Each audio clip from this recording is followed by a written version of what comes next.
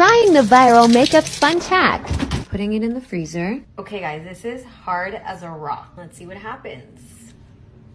This feels super refreshing actually. Oh my god, I am loving this. Feels like a treatment on my face.